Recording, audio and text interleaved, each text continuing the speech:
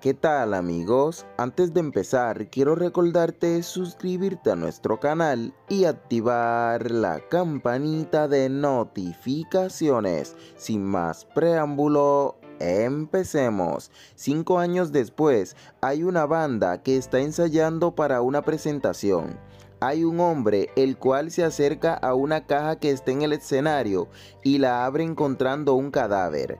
Eren llega al lugar y le dice a Tudje que no toque nada y que finja no conocerlo, advirtiéndole que si hace algo se va a quedar en el auto.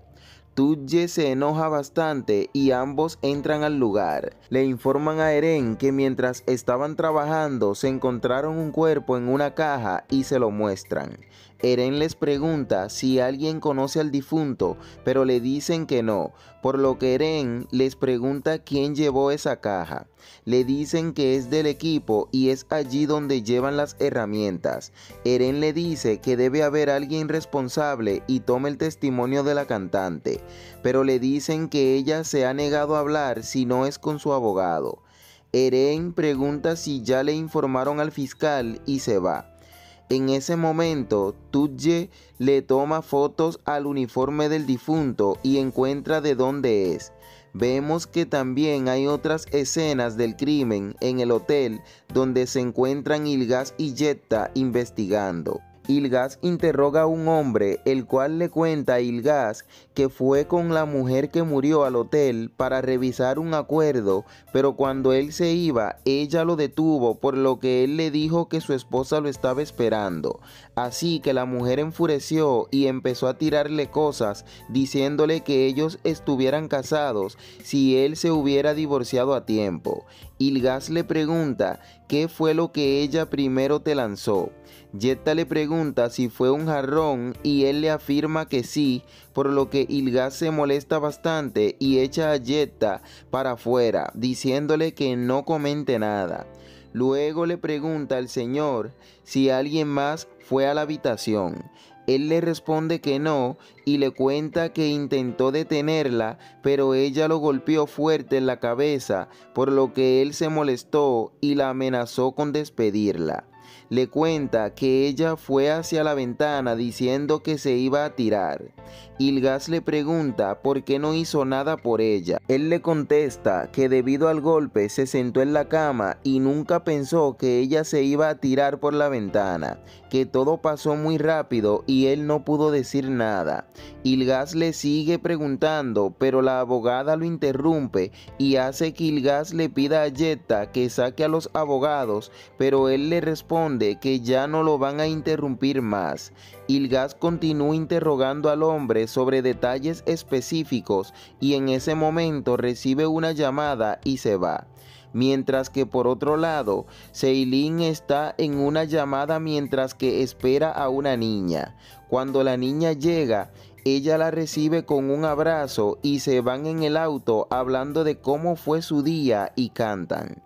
Jetta le dice a Ilgas que su cliente testificó todo y que está muy afectado después de que una antigua amante se quitara la vida frente a él, por lo que pide que le quiten la vigilancia.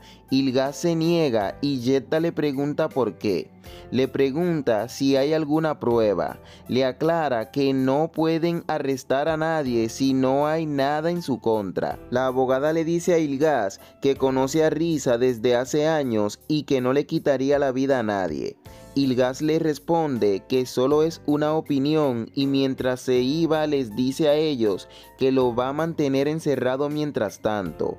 Cuando Ilgas se va, Jetta le dice a la abogada que con lo que dijo Risa los va a destruir. Ilgas revisa el lugar donde cayó la mujer y le pregunta a Umut sobre los informes forense pidiéndole que busquen testigos y pregunta también por los interrogatorios.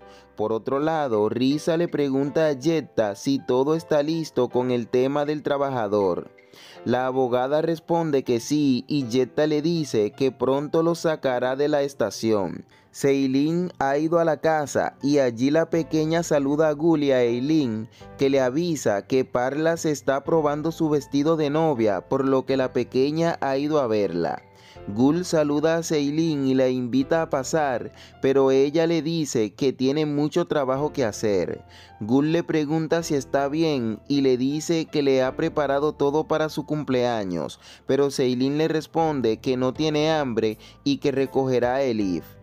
Eileen le pregunta si se va a quedar, pero Seilin le dice que no va a poder hacerlo y se va.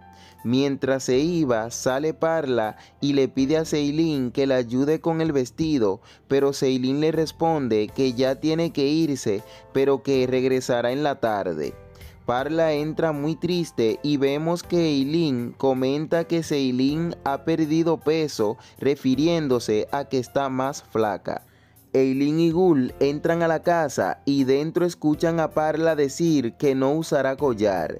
Eileen le pregunta por qué, ya que le gusta el que vieron, pero Parla les dice que está muy caro. Gul le pregunta si Sinar no se lo iba a comprar, pero Parla molesta le dice que no, que no llevará collar.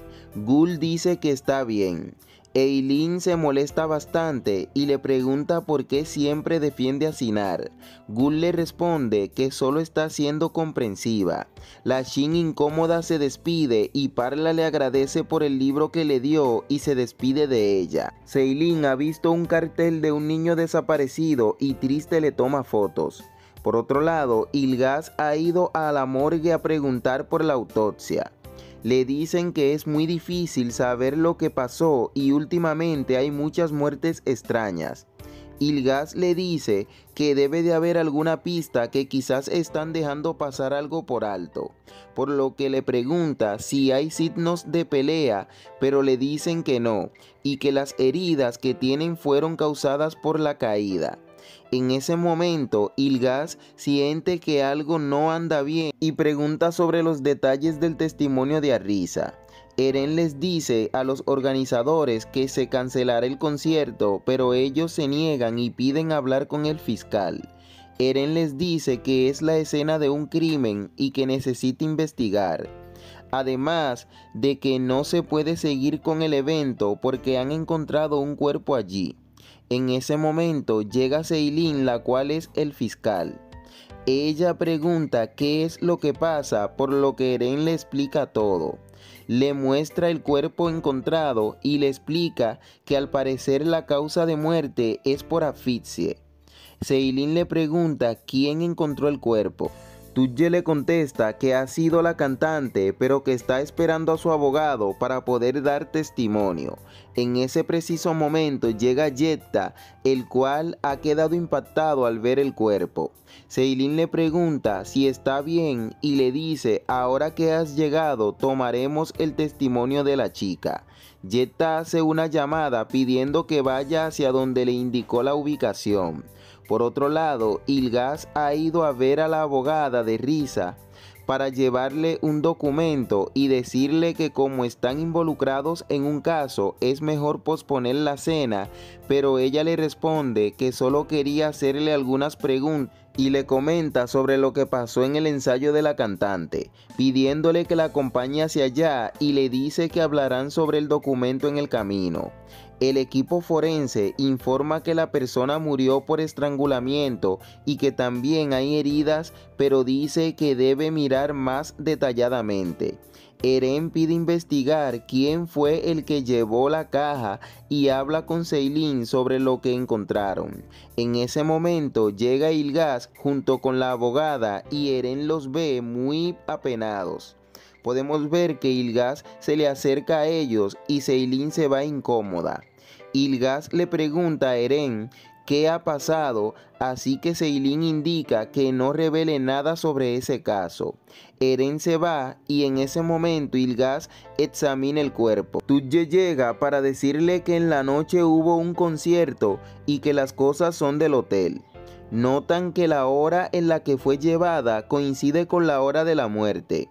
Seilin interroga a la cantante y se va, por lo que Ilgaz la detiene pidiendo que hablen y aclaren que no ha ido a interferir con sus asuntos. Le cuenta sobre el caso del hotel y le explica que cree que están relacionados, por lo que le pide que le entregue el caso, pero Seilin se ha negado y le pide a Eren que le entregue todos los testimonios. La abogada le dice a Ilgaz que ya pueden irse. Él se despide y se va. Seilin le pide a Eren que investigue si el hombre murió allí mismo y que envíen para el hotel un equipo. Mientras caminan, Seilin le pregunta a Eren si Ilgaz y la abogada están saliendo. Eren le responde que no lo sabe. Seilin le dice que habló con Dile y le pregunta por qué parece tan triste. Eren le responde que no lo sabe y la felicita por su cumpleaños. Seilin se recuerda del niño desaparecido y le pide que averigüe si ya lo encontraron. Seilin se va y en ese momento Tuye le pide a Eren que le permita quedarse investigando, pero él se niega. Por otro lado, en el auto la abogada invita a Ilgaz a comer, pero él se niega y le pide que vayan a la estación si le queda algunas preguntas sobre el documento. Cuando llega a la casa, Ilgaz nota que Sinar está hablando muy molesto con Metin, ya que no hay suficiente dinero para comprar el collar. Metin le explica a Ilgaz que al principio el compromiso iba a ser más familiar, pero que ahora piensa hacer una fiesta, pero no tiene dinero porque la familia de la novia exige cada vez más. Además, hablan de que Merden se irá tras el compromiso de Sinar. Déjanos tus opiniones en los comentarios y así termina el resumen del capítulo completo. Será hasta la próxima.